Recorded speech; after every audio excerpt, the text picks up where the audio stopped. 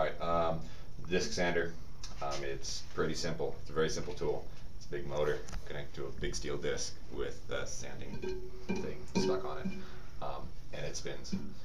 Uh, it's great for sanding kind of the opposite kind of stuff as that. Uh, anything that is you want a you want a straight surface or uh, sanding convex things. Um, again, fairly simple. Um, come up to speed. You kind of like hear that that tick when it actually gets to speed. Um, this spins in this direction, so counterclockwise, um, which means that uh, from the center of the disc, which is right there, to that, that's kind of your working area, um, because the disc is helping to hold your your work item down on the table. Here, it's pulling it up, um, which is scary and dangerous.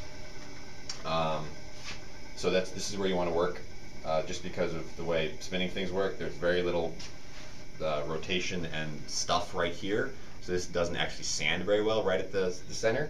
Um, this is where you get kind of the fastest moving sanding element.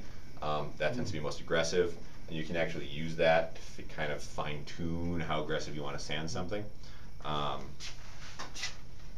this will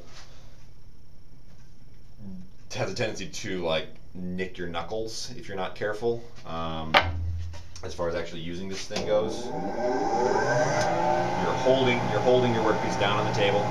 Um, try and keep your fingers away from the disc if you can, um, and then just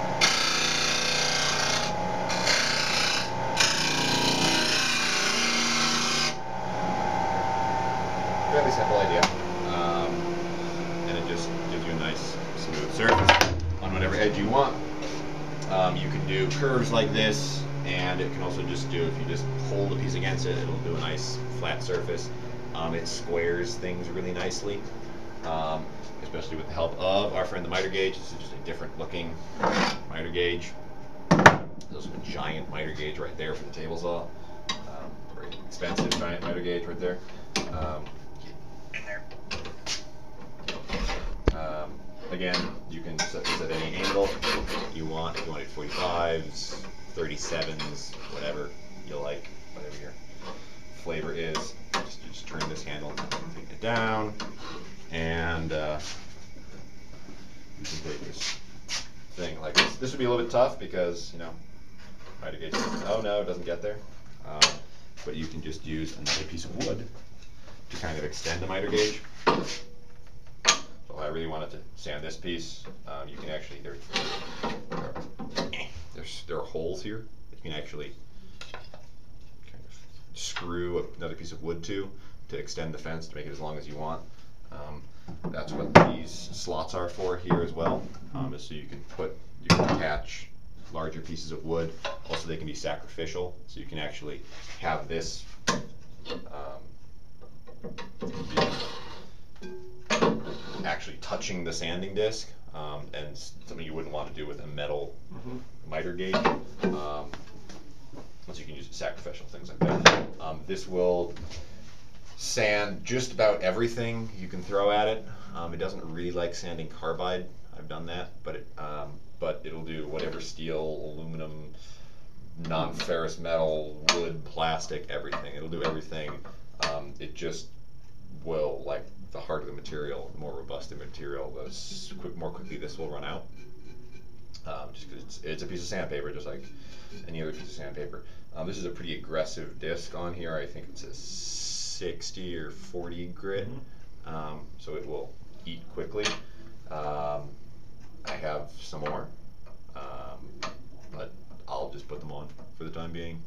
Um, I don't have it here because it's in the mail, um, but there's a big thing that's going to be, it's going to live right here. Um, that's for both the sanders. It's essentially a giant eraser. Uh, it's a it's giant gum rubber stick, um, and what it does is it cleans the the sanding. It actually rem- it like just because there's buildup in here that you Yeah. can't you can't wipe off, um, and you can see it on here. This buildup that's in the that's in the grit of the um, the sandpaper, and just hold the eraser essentially up against the um, up against the tool while the tool's on that one or this one, and it'll remove that that buildup. It prolongs the life of all the sanding elements because it doesn't pack in and then burn. Um, this will burn your workpieces. Um, it gets very hot. Your workpiece will get very hot. Um, it just does that, and you'll notice. You'll see it. Uh, I think that's about it. This will make a lot of a lot of sawdust. Um, there is a hose that connects to this that you can connect the shop vac to um, to minimize sawdust in the shop, which isn't a bad idea. How about the angler there? Is that This, yeah, just like just like the bandsaw, you can adjust the angle of the table. Um, you can adjust the the angle of the table on here. It's fairly simple. It's this is the tightening knob. You so you untighten it and then you rotate this. Um, it'll do I think 45 in each direction, um, either uh, away or towards you. Um, it gets a little bit more difficult to control your workpieces.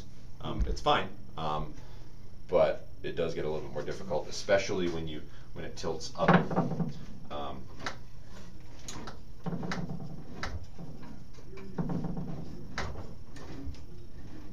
like when you get into these kind of scenarios and you're trying to sand something, um, having your fingers way the hell in here, um, gets it, it gets diff- yeah it gets difficult and uh, and a little bit dangerous. Um, but you can do it if you choose to. And again, there aren't stops on this, so um, once you pull it out of square like I just did, um, I mean there's there are indicators on here, um, but they're not incredibly precise. Um.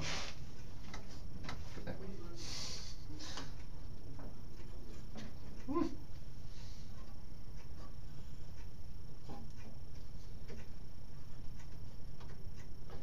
Okay, we're gonna leave this like this for now, and I'll fool around with it later. Um, but uh, yeah, so that's the drill press. Uh, this is a brake.